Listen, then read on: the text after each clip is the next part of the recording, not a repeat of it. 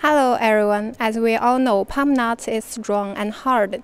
It will need a lot of manual working to crack and separate them. So our engineer designed this palm nut cracking and shell separating system for automatic separating. Today we are gonna introduce you our 2 ton per hour palm nut cracking and shell separating. Let's have a look.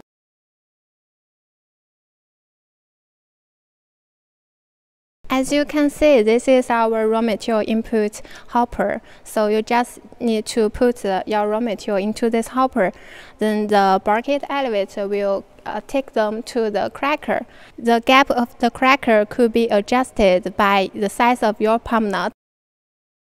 Besides, if your if your raw materials are the palm nuts with much fibers, then you may need the palm fiber separating machine to separate the fibers firstly.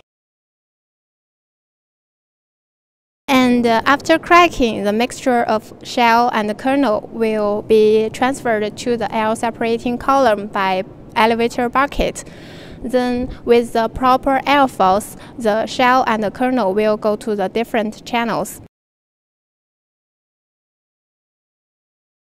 Normally, the kernels will come out directly from the outlet, but if you got any special requirement, we, we could equip you the elevator bucket like this one to help you transfer the kernels to the storage place you want to. And the separated shell will through the cyclone and go to the shell outlet directly. Then you could get the complete palm kernel.